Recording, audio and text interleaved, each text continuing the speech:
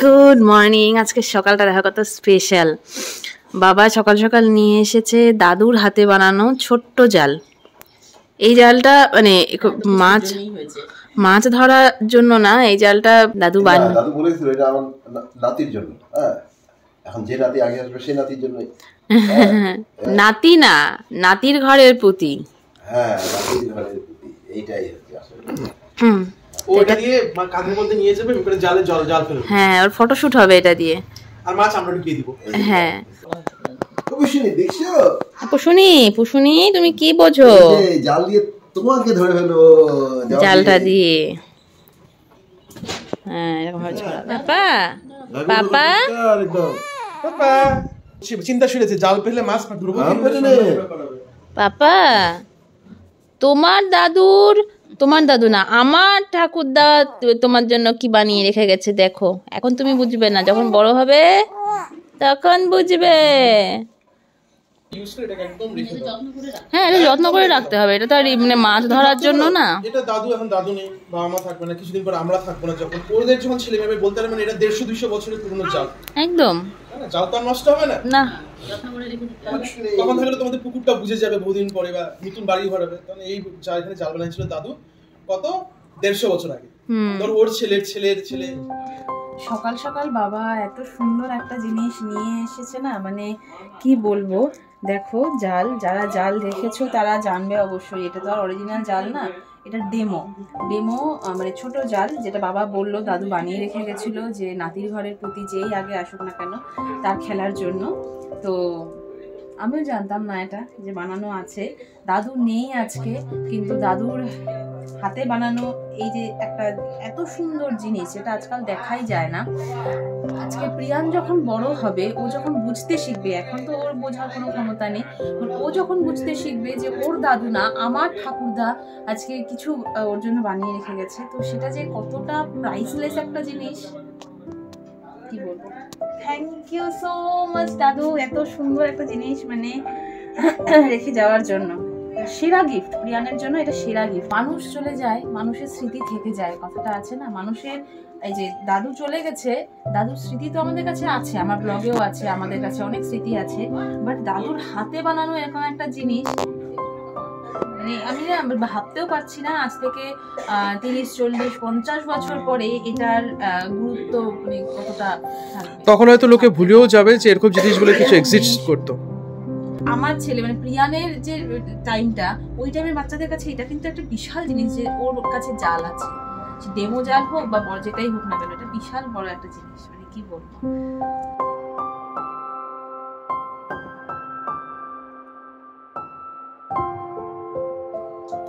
আজকে সকাল সকাল আমরা ডিসাইড করেছি, আমি আর প্রীতম মিলে আজকে বানাবো ব্রেড স্যান্ডউইচ যেটা প্রীতম আর কি খুব ভালো বানায়, এটা ওর হাতের সেরা। তো এখন এটার জন্য আলু নিয়ে নিয়েছি আলুটাকে সেদ্ধ বসিয়ে দেবো। বাকি কোনো রকম কোনো সবজি বাড়িতে নেই। সব শেষ। তো বাবা গেছে বাজারে সবজি ব্রেড মেয়নিজ এগুলো সব নিয়ে আসতে। আর আমরা এখানে বাকি জিনিসগুলো সব রেডি করে নিচ্ছি। বলল এটা হচ্ছে প্রীতমের স্পেশাল ডিশ কিন্তু সবকিছু ও বানাচ্ছে।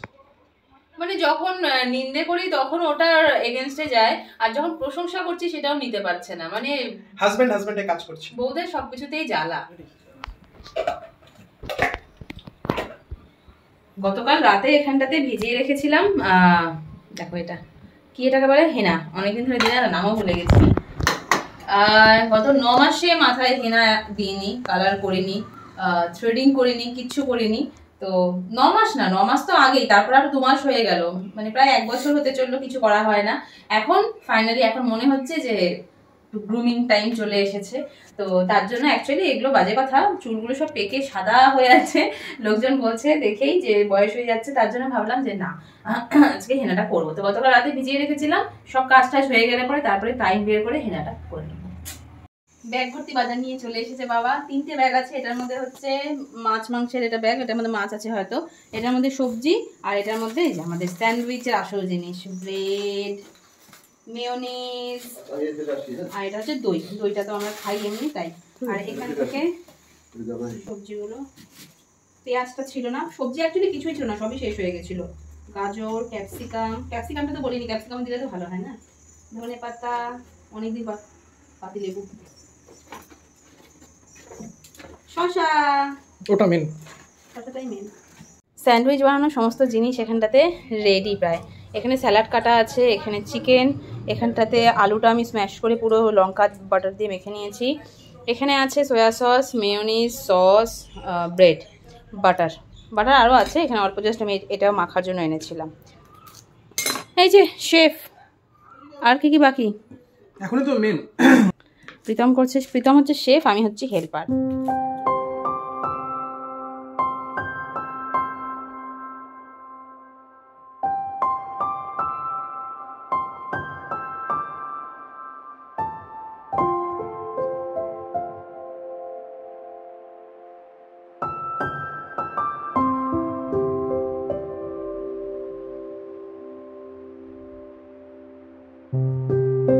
এটা আগে বাবাকে টেস্ট করতে দিই। বাবা?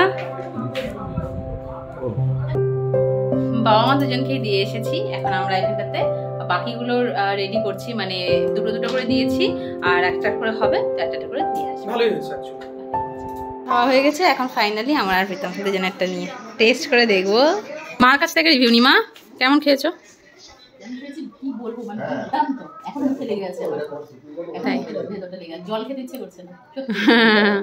বানানোটা সার্থক তাহলে। ব্রেকফাস্ট তো আমাদের বেশ ভালো হলো। জম্পেশ ব্রেকফাস্ট হলো। এখন হচ্ছে লাঞ্চের জন্য প্রস্তুতি পর্ব। বাবা এনেছে এখানে মাছ আর মাছের বড় মাথা বড় কাতল মাছ। তো সেটা কি হবে? মাছের ঝোল হবে না ভাজা হবে? ঝোলই করি। বাবা বলল ঝোল করতে। হ্যাঁ ঝোল হবে। আর কিছু আর এই যে মাথা আছে মাথা দিয়ে বিকেলে হবে মুড়ি ঘন্ট তাই তো? এই মাথাটা ভালোই আছে। হুম অনেকটা বড় মাথাটা। এদিকে দেখো ঘুম থেকে উঠে আরেকদিন চলে এসেছে চানু দানু করতেই পাপা এই পাপা পাপা চলে গেল দেখো। এই পাপা পিছন ঘুরে ঘুরে আসো তো একটু দেখাই আমি। পাপা চানু করবে? পাপা চানু করবে নাকি লে? এই মুখে দেয় না কালকে থেকে দেখি খালি ঘুম আর ঘুম। জানি না প্যারাসিটামল খাইয়েছিলাম তার জন্য নাকি শুধু ঘুমিয়েই কুল পাচ্ছে না। ইয়ে, দুষ্টু দুষ্টু হাসি। বুদ্ধি আটছো তুমি বুদ্ধি। কিচের বুদ্ধি? কিসের বুদ্ধি আটছো তুমি কিচের হ্যাঁ? চানু করবে না? চানু করার ইচ্ছে নেই। এই গরমের মধ্যে না করলে হয় পাপা। ও পারলে এখানটাতেই ঘুমিয়ে পড়ে দেখো। চোখ ঢুলো ঢুলো কেতল বুলো। আমার একটা পকু এ কেতল এদিকে এই যে মা মাছের মাথা একদিকে আর মাছের পিসগুলো একদিকে লবণ হলুদ মাখিয়ে রেখে দিয়েছে। একটা সন্ধ্যের জন্য মুড়ি ঘন্ট একটা দুপুরের জন্য মাছের কালিয়া। সকালে যে বলেছিলাম হেনা লাগাবো। তো ফাইনালি এখন বাচ্চা ঘুরিতে বারোটা হেনা লাগানো কমপ্লিট মা পকোকে নিয়ে ঘুরেই বেড়াচ্ছে। আজকে তানিয়া সরকার একজন কমেন্ট করেছ যে ভ্যাকসিন লাগানোর আগে ওকে পায়ের মধ্যে আর্নিকা লাগিয়ে রাখার জন্য। তো আমাকে একজন মাকেও বলি মা জানে না। এখনই আমি দেখলাম, একজন কমেন্ট করেছে আমাদের ব্লগটা দেখে যে, আর্নিকা লাগিয়ে রাখলে ভ্যাকসিনের ব্যথাটা কম হয়। তো তুমি বলেছ তোমারও আড়াই মাসের একটা বেবি আছে তো ওর জন্য অনেক অনেক অনেক ভালোবাসা আর এই যে সাজেশনটা দিয়েছ সেটা আমাদের জন্য যে কতটা হেল্পফুল বলে বোঝাতে পারব না কারণ আমিও নিউ মম অনেক কিছুই আমারও জানা নেই তো এই যে ছোটোখাটো জিনিসগুলো একটু শেয়ার করলে আমারও কিছু জানা হয়ে গেল আর যাই হোক একটা এরকমভাবে পরিচয়ও হয়ে গেল তোমার সাথে। পরের বার দেখি তাহলে হ্যাঁ পরের বার আবার তো আড়াই মাসের একটা যেটা ভ্যাকসিন আছে তো সেটাতে ওটাই আমরা অ্যাপ্লাই করে দেখব। পাপা তোমাকে পরিষ্কার করা হচ্ছে কাঁদলে পরে হবে?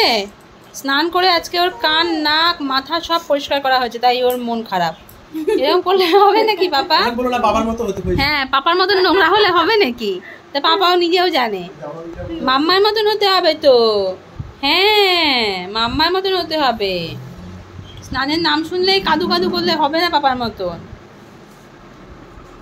মন আমার এক নতুন মাস্তানি শিখেছে। ওদিকে পুচকিকে দেখছে তাই জন্য এখানে রান্নার দেরি হয়ে যাচ্ছে। তো আমাকে আমি এখানে মাছটা একটু ভেজে দেবো।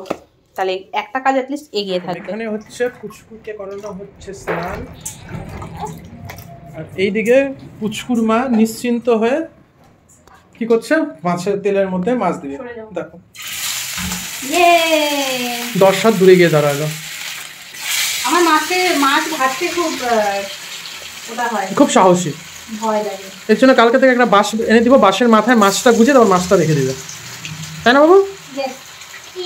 এই দেখো পুচকুও রেডি মাছ খাওয়ার জন্য।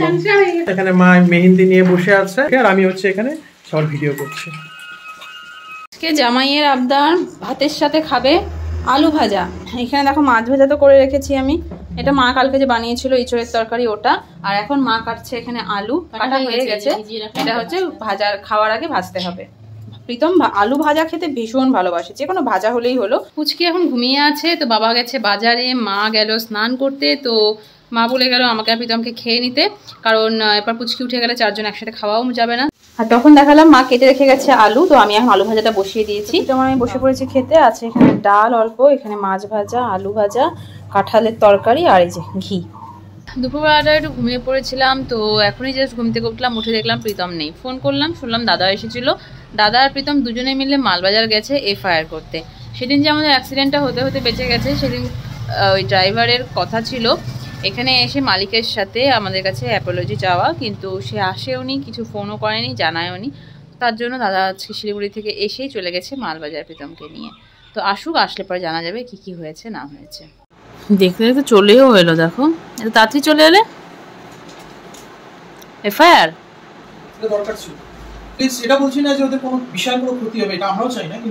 না যখন নেক্সট টাইম গাড়ি চালাবে তখন তো জানবে যে আমি যেটা করছি ওটা ভুল। কেউ না কেউ আছে যারা ওদের এগেনস্টে বলার বলবে না, যেটা উচিত। ঠিক। এখানে দেখো বাবা পাকা পেঁপে নিয়ে ঘুরে বেড়াচ্ছে দেখি পেঁপেটা? এই পেঁপেটা টিটু নিয়ে এসেছিল ওদের বাড়ির থেকে না? টিটুদের বাড়ি মানে গজলডোবার গাছের পেঁপে এটা। এই যে এখানে প্রিয়ান উঠে গেছে পাপার কোলে। মা যাচ্ছে এখানে আবারও কমিটি কমিটিতে না মা? গতকাল যে দেখালাম মা কমিটিতে গেছে। তো সেই কমিটির থেকে মালামাল হয়ে এসেছে জন্য আমি বলেছি এবার নেক্সট নেক্সট যে কমিটি গঠন হবে আজকে হবে তাই তো? তো সেই কমিটিতে আমার নাম লেখাতে বলেছি। যাচ্ছি। হ্যাঁ আমার নামটা লিখিয়ে দিও। আমার নাম অ্যাড হয়ে যাবে আজকে ইয়ে। তোকে একা রেখে সবাই চলে গেছে? দিদিয়া চলে গেছে মিটিং এ পাপা চলে গেছে বাইলে দাদাই চলে গেছে কোথায়? কোথায় চলে গেছে সবাই? মামাই চলে গেছে খেলতে। কাজু কাজু করে না পাপা। তুমিও খেলতে যাবে দুদিন পরে। তুমি খেলতেই যাবে। হ্যাঁ।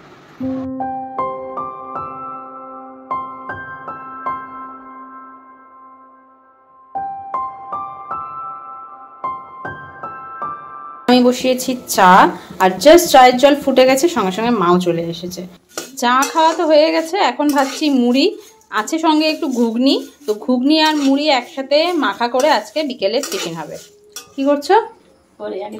মা কি একটা যেন করছে এখানে ব্রেডগুলো সব কেটে কেটে নিয়েছে কটাই ব্রেড ছিল সকালে স্যান্ডউইচ খাওয়ার পরে। অল্প কটা আছে সেটা আমি হ্যাঁ। একটা কিছু করব এখন বলব না। একটা কিছু করবে ব্রেড দিয়ে স্যান্ডউইচ ছাড়া বা টোস্ট ছাড়া আর কি করবে মা? দেখাচ্ছি সেটা করার পরে। ফ্রিজে দুটো মিষ্টি আর মিষ্টির শিরা ছিল। মা এখানে শিরা আর মিষ্টিটা গরমে বসিয়েছে। আই গেস এইটা দিয়েই মা পাউরুটিটা কিছু একটা করবে। তাই মা? তাই মা? তোমার সারপ্রাইজের ভান্ডা ফুটে যাচ্ছে। আমি গেস করে নিয়েছি। আচ্ছা এখানে চলে আসলো বাবা গেছিল দোকানে চানাচুর আনতে। চানা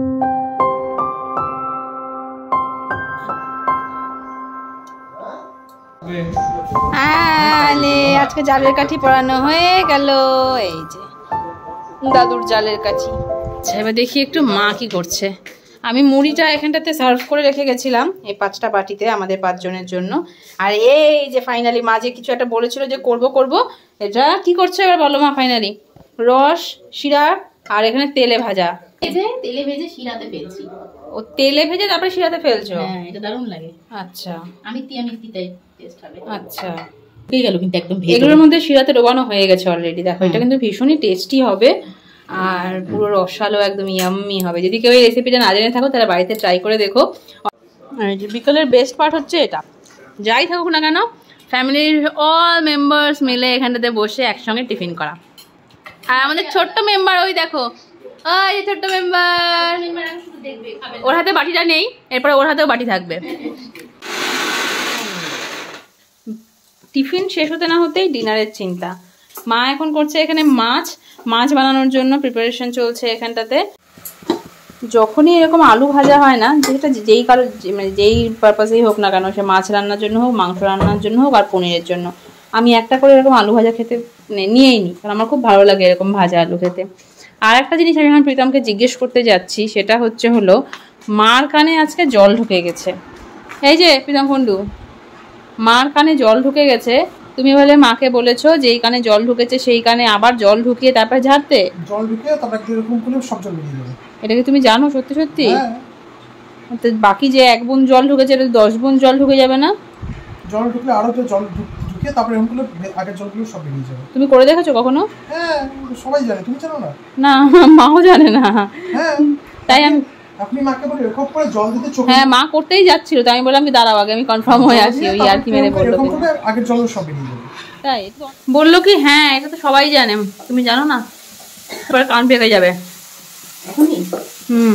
ভয় ভয় লাগছে আমারও তো ভয় ভয় লাগছে। জল ঢোকাবো তারপর দেখা গেলে জল ছিল আরও ঢুকে গেল দশ দিন আরে বললাম। এই যে মা যেটা তখন বানাচ্ছিল, পাতলা করে ঝোল, একটু গাঢ়ই হয়ে গেছে ঝোলটা, একটু গ্রেভি গ্রেভি হয়ে গেছে।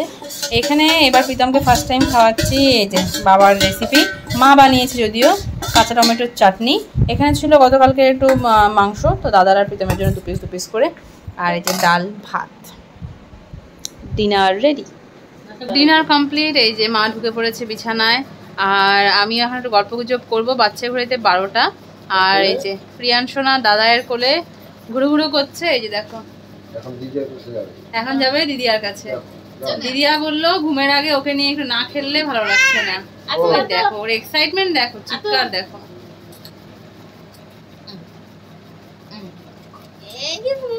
আড্ডা মাঠে চলে এসেছে ওকে বিছানায় শুয়ে দিয়েছিলাম কিন্তু এত আ উ করছে আর মা বলল ওর খেলার মুডে আছে তো নিয়ে আয়। যে নিয়ে আসলাম এখন চলবে আড্ডা। তো চলো আজকে আমাদের ব্লগটা আমি এখানেতেই এন্ড করছি। যদি কিছু ভালো লেগে থাকে তাহলে অবশ্যই চ্যানেলটা সাবস্ক্রাইব করে দিও। আর সবাই খুব ভালো থেকো আনন্দ থেকো আর সাবধানে থেকো। টাটা।